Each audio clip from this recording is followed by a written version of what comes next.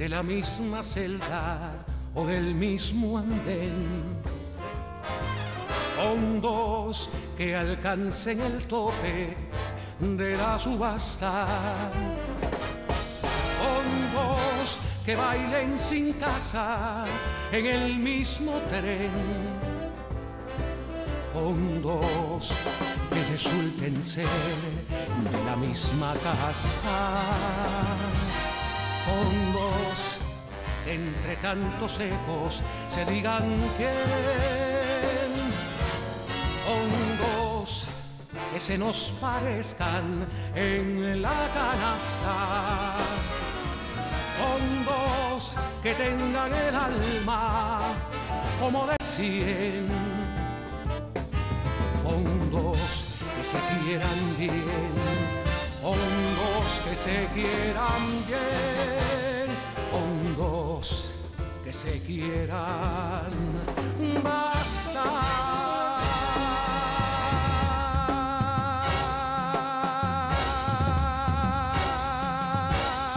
Muy buenas noches. Estamos en Con dos que se quieran dos, como siempre aquí en Quinta Avenida y calle 32, en el barrio de Miramar, en los maravillosos estudios Abdal.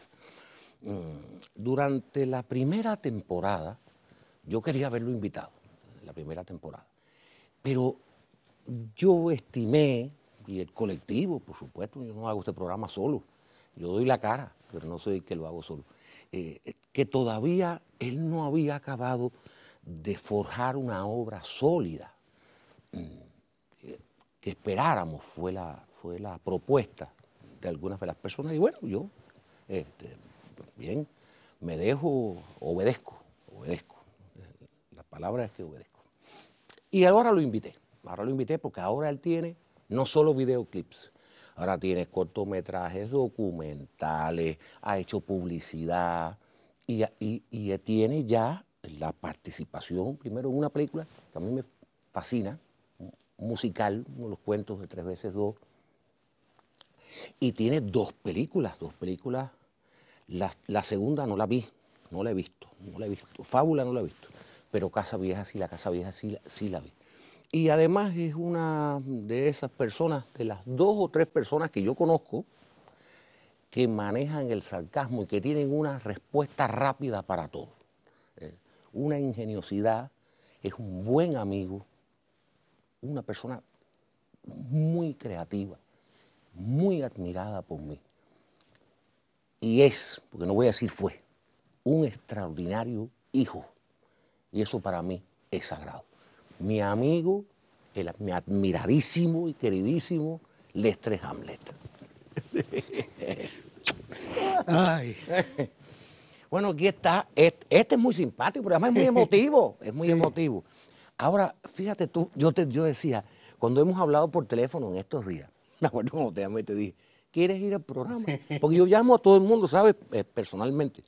Pero me dijiste un sí tan rotundo y me dijiste, claro, ya te estabas demorando, fue lo que me dijiste, ya te estabas demorando. ¿Realmente tú creías que yo tenía que haberte llamado antes? tal vez no por mí, tal vez no por mí mismo, pero para mí estar en tu programa y, y es la manera en la que lo he asumido, es un regalo que le hacemos tú y yo a mi mamá. Sí, ese amor infinito de mi mamá por ti, esa manera también. Recíproco. esa manera también de, de representar tu parte de los recuerdos con mi mamá. eh, yo sé que está muy feliz hoy, por eso me afeité. Mi mamá siempre me decía, afeítate, bicho. Y yo que no me afeité nunca, digo, bueno, hoy voy a- al programa de Mauri, que lo, lo entiendo como un gran tributo, digamos, a, a lo que mi mamá logró hacer de mí. Me afeité, me tiré mi mejor Dani de Vito. No, está, está, estás muy lindo. Ahora, tú eres una persona mm, que hasta en los momentos más trágicos de, de la vida personal nuestra y, de la vida nacional, tú siempre tienes una salida, tú manejas el sarcasmo como pocos y, a veces ese finísimo, ese finísimo borde por el que tú te navegas, a, a veces eres cínico, a veces tú eres intelectualmente un hombre muy preparado. Eh, eso es un escudo, el sarcasmo ha sido un escudo para defenderte de, los avatares de la vida. Pues. Supongo que sí, mas no es el sarcasmo mi único escudo. A veces el que más utilizo es el silencio o el aislarme.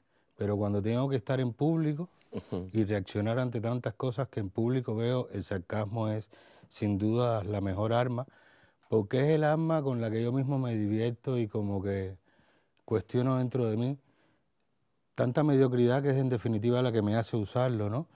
Normalmente la persona contra la que esgrime es un sarcasmo no lo entiende, pero el resto sí.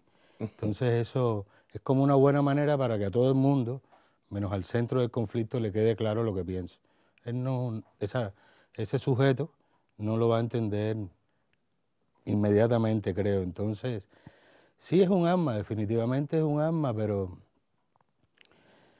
también hay otras que me, que me gustan más. Me gusta más usar eh, el humor, me gusta más relacionarme desde bondades. Cuando ya me pongo sarcástico, corre, ¿entiendes? Porque es que ya hay algo, no me funcionó. Tú me decías, este, qué curioso, es la primera vez que estoy de este lado de las cámaras con este equipo. Sí. ¿Cómo te sientes de este lado? Bueno, ahora me encanta estar aquí, es la verdad. Me encanta gracias también al talento de todos ellos, haber podido realizar una obra que me lleve a estar sentado aquí hablando contigo de eso. Pero es muy emocionante para mí saber que ahí está Iván Nápoles, a quien se le debe tanta mirada del cine nacional, un maestro que ahí esté Solís, a quien le debo yo toda la visualidad de mi película, Casa Vieja, que ahí esté Yamí, que ahí esté Siete Boca, Oscarito, personas con las que me he relacionado cotidianamente durante años, ¿no? Que mira, estoy muy relajado, estoy muy seguro. Voy a, quiero caer en tu carrera, voy a ir entrando y saliendo. Aquí hay en un artículo que se llama Vamos a pensar el cine, Kamamba Budu, eh, de Andrés Mir, eh, habla de la cuarta muestra. Eh, aquí hay una, una sentencia de José Luis Sánchez, dice, vamos a pensar el cine, masticar cine, rumiar cine, ¿Por qué el cine ya no es el ombligo del mundo? ¿Por qué la metáfora abandona el cine? Y el dinero no alcanza como tampoco el sueño que fue el buen cine. Sin cine no habrá historia y sin mirar al mundo no valdría la pena vivir del cine. Otro cine mejor volverá. La pregunta entonces te la va a hacer Jorge Luis Sánchez. Otro cine mejor volverá. Para mí el cine es la historia. Para mí el cine es lo que fuimos y también lo que seremos. Yo creo que muchos de los inventos que, a los que ha llegado el hombre fueron inducidos por el cine. El cine ha condicionado un poco a donde, no, a donde el hombre quiso llegar, sino a donde, a donde debe llegar. Es la imaginación del artista con una proyección de futuro y también con una sensación de historia. Entonces, un cine mejor, yo creo que el cine es algo que va a existir por siempre. Sobre todo ahora que esta eh, invasión, por decirle de alguna manera, de tecnologías digitales que hacen que artistas, desde una independencia absoluta, creen historias eh, apoyados en hasta en un teléfono. Ahora hasta con un teléfono he visto que se hacen películas, cortometrajes. Entonces el cine, un cine mejor, yo no sé si es mejor o peor, pero cada época vendrá con el suyo. Y yo creo firmemente en que hay un momento muy bonito en cuanto a pluralidad temática en el cine nacional. Hace unos años era impensado de pronto que hubieran zombies, y ya hubo zombies, o que hubiera una película de ciencia ficción, un cine como el cine cubano, que ya había devenido casi un subgénero, cine cubano, era cine de terror, cine fantástico, aventuras y cine cubano. Ya las películas cubanas eran en sí mismas un estilo, ¿no? Pero esa pluralidad que ha dado también la, la tecnología, el que uno, yo, por ejemplo desde Casa Vieja hago y edito las películas en mi casa. Creo que desde tres veces dos, pero era ya un sistema de cooperativas, ¿no? Entonces eso me da la posibilidad de mucha libertad a la hora de la creación. Creo que la libertad, cuando la refieres al cine, siempre te va a te va a proyectar un cine mejor. Yo creo que ese cine de autor, ese cine donde de verdad uno se descuere y se lacere para contar las historias como me pasó a mí cuando tuve la suerte de hacer Casa Vieja. Fue una película muy intensa, una película de verdad muy llena de, pasiones en cada uno de nosotros. No es que Casavieja sea la mejor, pero para mí fue un cine mejor que Tres veces dos. Tal vez cuando hice Fábula utilicé otras fórmulas que para mí fueron mejor que Casavieja, ¿no? Pero un cine mejor, de acuerdo a las épocas, va y sí, depende de los autores, también depende de los deseos, también depende, sobre todo el cine es una industria, ¿qué es eso? Una industria, requiere de muchos recursos, requiere de técnicas, requiere de presupuestos, requiere de, de inversiones, ¿no? Hay cineastas internacionales como Lars von Trier que se burlan de todos los esquemas de producción y ellos mismos producen su película. Claro, él tiene una economía privada que le permite Drowning by Numbers, todas sus películas, ¿no? Pero estas apuestas que, que, que esgrimimos los cineastas de mi generación, donde tú ves de pronto tanta pluralidad, tienen que ver con eso, con ese afán de mejorar uno. Yo creo que el cine mejor hace humanos mejores. Y eso es lo que necesita la sociedad contemporánea. Se van perdiendo muchos valores. Yo creo que el cine, como la cultura en general, los va calzando, va haciendo mejor al hombre dentro de una sociedad, lo coloca, el cine ofrece una mirada exacta sobre lo que debemos ser, o lo correcto, lo, positivo, ¿no? sobre el crecimiento o no del humano. El cine tiene que estar relacionado directamente con la sociedad para hacer un cine mejor. Hablemos del cine cual. Eh, hablemos de, la formación cultural muy sólida con la que llegaron al cine Titón, Humberto Solá, eh, Manuel Octavio Gómez, Santiago Álvarez, o sea, este grupo de, cineastas a los que tú perteneces, ¿tú crees que llegan al cine sobre las mismas bases culturales con las que llegaron ellos al suyo? No. Mira, yo realmente creo que, que hay un gran por ciento de mi generación que no estaba preparada para llegar al cine en el momento en el que llegaron. Todas estas personas, desde Fernando, Daniel Díaz Torres, todos pasaron en el cine como por muchas responsabilidades. Fueron asistentes de producción, trabajaron en cuartos de edición, fueron llegando a poder dirigir una película y ese sacrificio también les hizo valorar mucho más el momento de la filmación. Lo sé por mi experiencia, yo entro al cine gracias a Orlando Rojas cuando estaba preparando un proyecto suyo y, pude entrar con él como asistente de dirección. Y ahí fue donde lo descubrí. Pero, pero ya veía que todos ellos como que habían tenido que escalar. Ahora no, ahora hay muchos que ya llegan a dirigir una película, porque el talento nace en cualquier lugar y la genialidad también. En otros casos es mucho vacío. Eh, hay, quien no sabe los, los, poderes que puede tener un fotógrafo desde determinadas lentes. Hay quien no sabe eh, cosas básicas para el cine de ficción como el eje, como millones de, aspectos, digamos, técnicos y sobre todo de una cosa que es importantísima en el cine. El cine es un arte de especialización. Es está el director de arte, está el director de fotografía, está el director de producción. Ninguna de esas especialidades deben intervenir en las otras, porque es que cada uno es rey en la materia que está, que está trabajando, ¿no? Aunque siempre hay nuevos y personas graduándose y personas llegando, pero uno también tiene que oír. El cine es una oportunidad que uno tiene de aprender constantemente, porque tienen toda la historia del cine sobre sus hombros las personas que hacen el cine dentro de lo que queda de la industria. Tienen sobre sí la historia de, de todas las películas. Cuando yo hice Casa Vieja, recuerdo una cosa muy, muy particular para mí. Fue un día que, me, que hablando con Isabel, en un momento de un corte que estábamos conversando, me dice, disfruta esto, porque esto es lo único que vas a recordar. Cuando veas la película... Isabel Santos me estaba Isabel Santos, que tuve la suerte de que hiciera para Casa Vieja La Flora.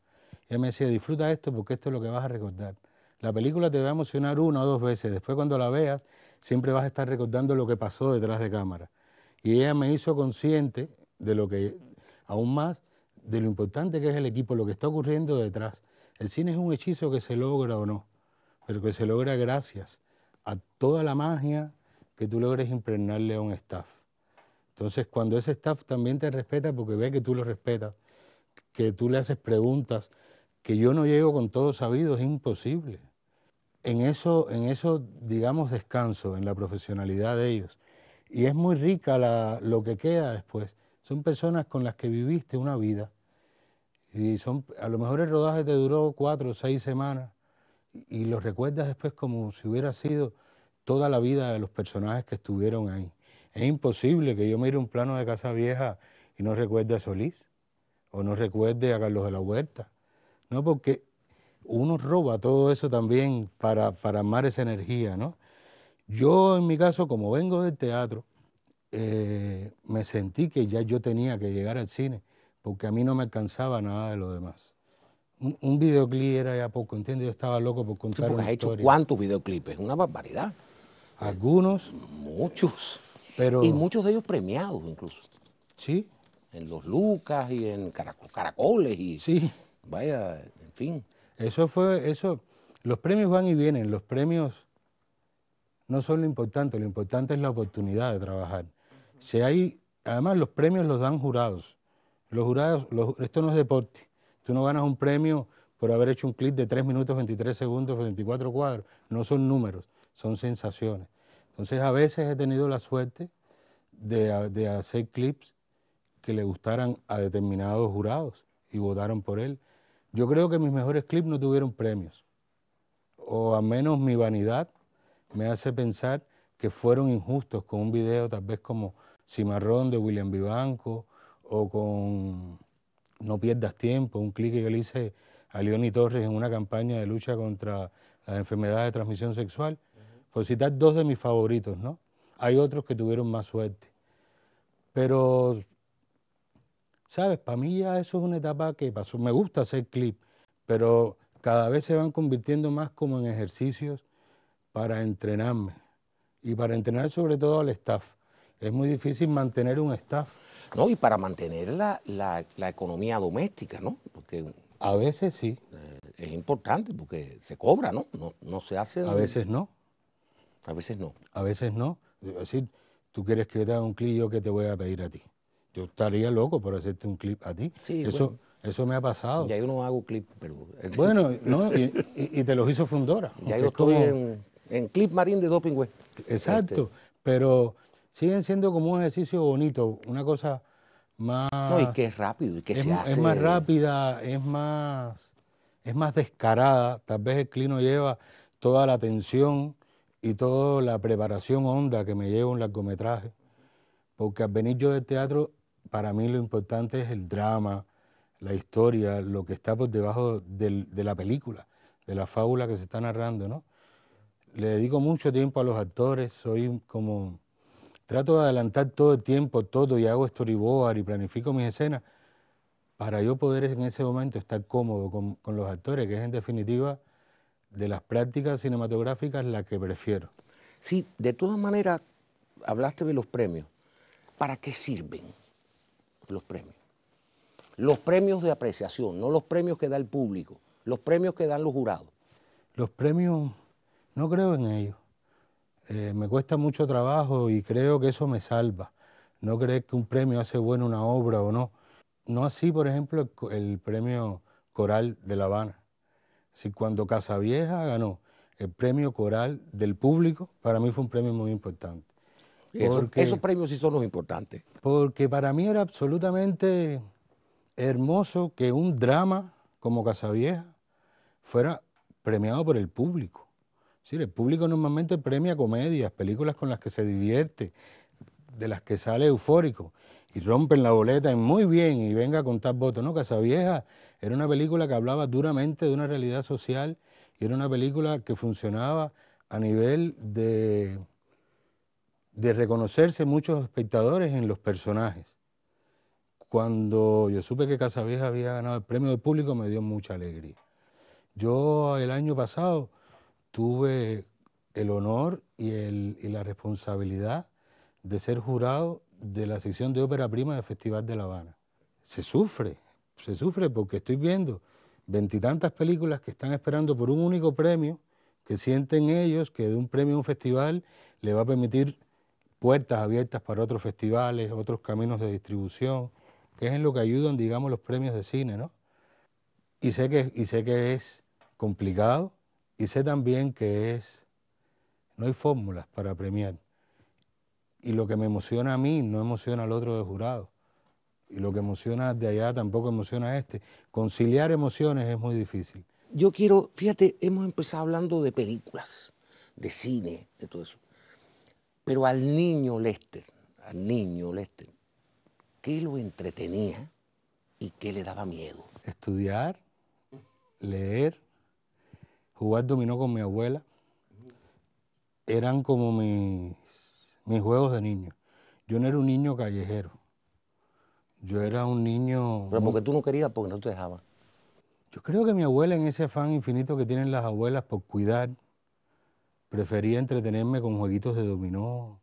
Y, yo disfrutaba tanto de mi abuela que lo prefería.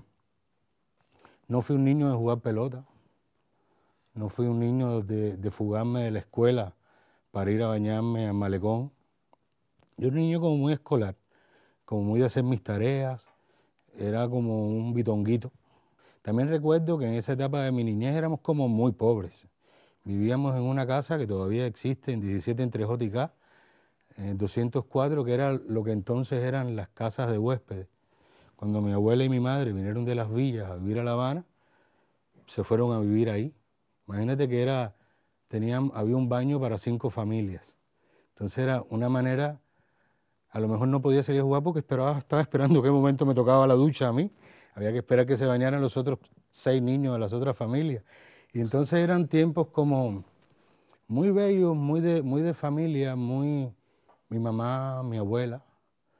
Y no me recuerdo callejero. Y mis miedos siempre fueron, siempre fue el mismo. Yo tenía miedo y es la primera vez que lo confesaré. Mi miedo cambió. Porque yo siempre tuve miedo a morir antes de mi mamá. Y decía, por Dios, ¿cómo va a sufrir? Estaba seguro que yo me moría antes. También yo vengo de una generación que cuando ya yo venía con 16, 17 años, despertar sexual, neuronas, viene el SIDA. Toda la vida he pensado que, que, está, que estoy al enfermar. Entonces, tal vez, esa, tal vez eso me hacía temer mucho por mi muerte antes de la de mi mamá, ¿no? Ya cuando mami muere antes que yo y me saca este trecho de ventaja, tuve que cambiar mis miedos. Porque son necesarios entonces para ti los miedos. Sí, el miedo es necesario. Yo creo que más que el miedo, el nervio, ¿no? Y el miedo me provoca un nervio que me hace pensar, que me hace estar atento. Cualquiera que te está viendo en televisión ahora puede pensar que anida dentro de ti un alma trágica. Pero como no va a anidar. Y me has hablado de tu abuela, hablaste al principio de la entrevista de tu mamá y tu papá. Mi papá, yo creo que mi papá de alguna manera es quien ha sembrado como esa conciencia trágica.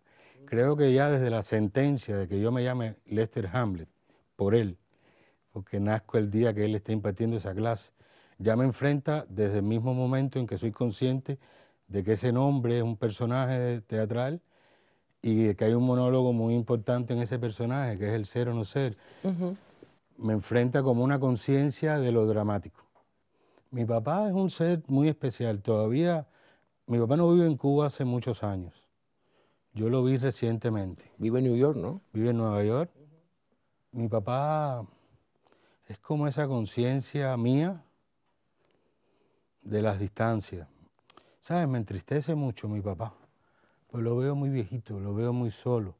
Entonces, con tanta historia contada sobre la emigración y con tanta gente que se ha ido y con tantas familias que han estado separadas, ahora que lo he visto en Nueva York y ahora que veo lo que es la vida de mi papá en Nueva York, me cuestiono mucho, ¿valió la pena irse? ¿Valió la pena haber vivido tantos años sin mí? ¿Valió la pena alejarse tanto de La Habana para estar tan solito como está ahora? en una ciudad, tal vez la mejor ciudad del mundo, como dicen muchos, la capital del mundo. Pero mi papá vive dentro de un microcosmos, que es un apartamento pequeño, cargado de objetos y solo. Pasan las horas y él sigue solo. Entonces, no sé si valió la pena. Y, y cuando tú lo has ido a ver, encuentras que hay un lazo afectivo ahí, latente. Mi papá fue mi héroe cuando yo tenía siete años. Sí, mi papá no es un papá que se fue y desapareció. ¿Entiendes? Mi papá está, mi papá está. Pero fue mi héroe. Cuando yo tenía que hacer un tren en la escuela para alguna asignatura, me acuerdo que mi papá fue, me trajo caña y a mis vagones le puso trocitos de, caña de azúcar para que mis vagoncitos fueran llenos. Eso era con yo con seis, siete años, en los trabajos esos como de manualidades en la escuela. Mi papá, como mi mamá, me inculcaron, digamos, algo que fue muy importante para mi carrera toda, que es el mundo de la ópera. Aida, Caballería Rusticana, Traviata, Payaso, todas las óperas forman parte de los sonidos que hay en mi cabeza. Eso se lo debo a mami, pero también a papi. Eh, no fueron pareja ellos nunca durante el tiempo que vivimos juntos. Mi mamá y mi papá se divorcian antes de yo nacer. Pero él vivía ahí y ahora vive en Nueva York. No es un desconocido y por supuesto cuando yo lo veo me muero de amor por él. Y despedirme de él cada vez me cuesta más trabajo, porque se alegra tanto cuando yo estoy cerca, esa cosa que no hay dudas. Mira, ahora en Nueva York yo vi por primera vez en mi vida una foto de mi abuelo. Yo me impresioné y puse una de mi abuelo, una de mi papá y una mía. Sé cómo voy a envejecer. La genética es muy fuerte. ¿Se parece? Mi, es mi papá, eso no hay duda. Y tu mamá, eh, siempre venir a estos estudios es recordarla. Uy, es muy fuerte. Eh, es tremenda, ¿no? Y, y, este en particular. Sí, sí, este en particular. Exactamente, yo la, la recuerdo con sus ojos bellos. No, de mi mamá podría estar horas, porque mi mamá fue una mujer tan pura, tan honesta, tan bella, tan bonitamente recordada. Qué bonita vida tuvo y qué bonitas amistades tiene. Mami no está hace ahorita 12 años. Y fue fuerte, hace, eh, fue fuerte cuando ocurrió, pero ha sido fuerte cada día. Porque al ser una mujer tan brillante, es muy difícil. Y sobre todo cuando tras la muerte de mi mamá yo tuve un mundo como que se partió. Hubo una parte de mi vida que quedó igual, sin ella, pero yo tuve mis amigos, que fueron mis amigos, pero había, todo, había una parte grande del mundo afectivo que venía paralelo a mi mamá, que casi que murió cuando murió mi mamá. Una zona casi familiar con la que no, que no tuve más. Es un dolor que no cesa, pero uno tiene que también aprender de la inteligencia de la que su educación tal vez me dotó para aprender a acomodar ese dolor dentro de mí y no hacerle daño a los demás. Eso es mío, eso es un dolor tan eterno que como, como pensé cuando se me se, se fue, yo prometí no hacer gala de ese dolor, llevarlo dentro de mí y llevar cada día como un homenaje a ella.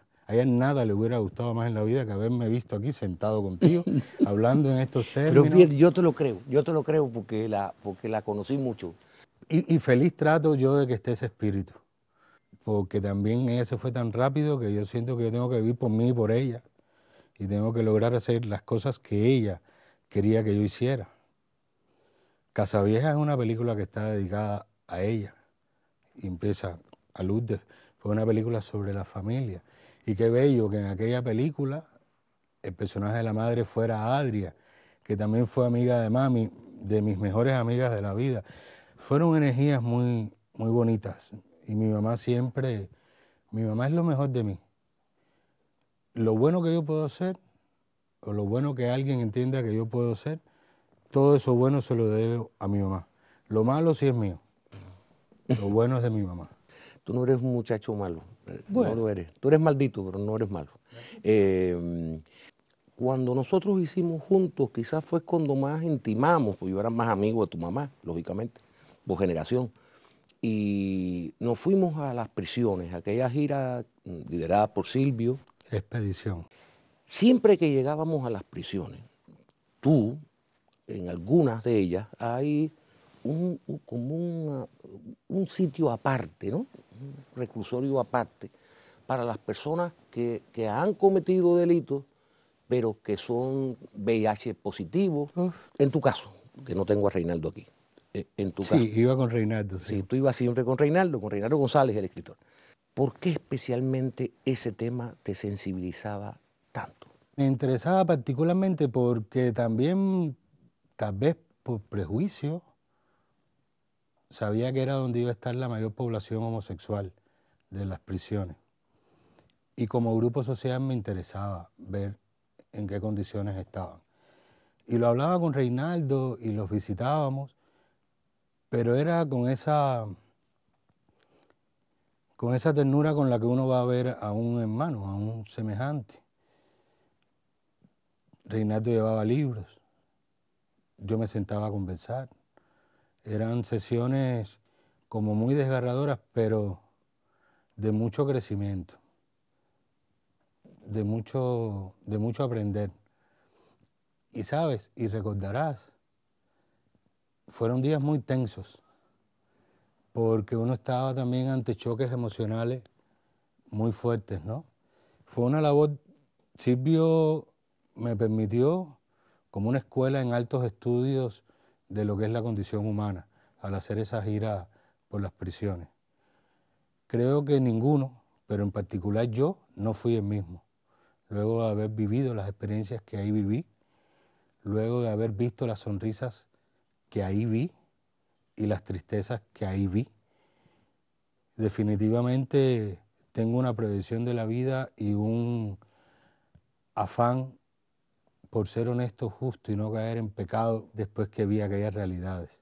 También acercarme al espíritu enorme de Silvio, acercarme a la supuesta inocencia del sexto sentido, acercarme a ti, a Alexis Díaz Pimienta, a, todo el que nos acompañó, conocer de cerca y sufrir juntos historias como esa. Fue, fue, fue bendito, duro pero bendito. Bueno, yo, yo, a ver, la gente habla aquí de sus amores. Yo he entrevistado a, muchas amigas mías y a muchos amigos míos, a quienes yo quiero, respeto, en algunos casos venero. Los heterosexuales y las heterosexuales siempre están dispuestos a hablar de sus maridos o de sus mujeres, pero los invitados e invitadas que he tenido homosexuales tienen terror a hablar de eso. Eh, mi pregunta es directa. Tú eres un hombre gay. Sí, honrosamente gay. Yo, ahora hay una etapa que es, es gay casi por moda. Yo no, yo no tuve otra opción. Yo no, yo no sé lo que es besar a una mujer.